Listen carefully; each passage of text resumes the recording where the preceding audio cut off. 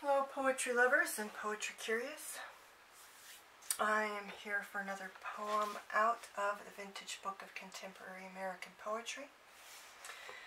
This is going to be A Tourist from Syracuse by Donald Justice. I could have sworn that I had read this to you all at some point for some kind of um, video, but I will read it again because when I looked back on my videos, I couldn't find it. And it's worth reading, and I will probably read others um, more than once on this channel as they occur more than once amongst the anthologies and books of poetry that I read. And many poems are worth reading more than once. Um, so Donald Justice. Um, again, I'll probably re repeat this for each one of these. Um, I expect if you were to Google him, you would get Wikipedia. If you go to the bottom of a Wikipedia entry on uh, a poet, you have a list of their publications. If you would want to get um, a book of his.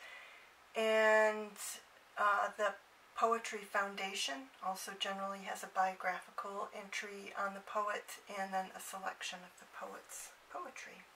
I would be shocked if they didn't have this one. This is a very famous poem. Well, maybe I shouldn't say very famous. because a lot of poems that are famous to me would not be famous to anybody else. It's a well-known poem. It's a, a much anthologized poem. All right. This begins with an epigraph. One of those men who can be a cat, cat salesman, one of those men who can be a car salesman or a tourist from Syracuse or a hired assassin. So this is part of, um, I believe, a poem by John D. MacDonald. Is he? No. Um, I'm not sure of that, but it is a quote by John D. MacDonald. And here is the poem by Donald Justice in response to that. You would not recognize me. Mine is the face which blooms in the dank mirrors of washrooms as you grope for the light switch. My eyes have the expression of the cold eyes of statues watching their pigeons return from the feed you have scattered. And I stand on my corner with the same marbled patience, if I move at all. It is at the same pace precisely as the shade of the awning under which I stand waiting, and with whose blackness it seems I am already blended. I speak seldom and always in a murmur as quiet as that of crowds, crowds which surround the victims of accidents. Shall I confess who I am? My name is all names, or none.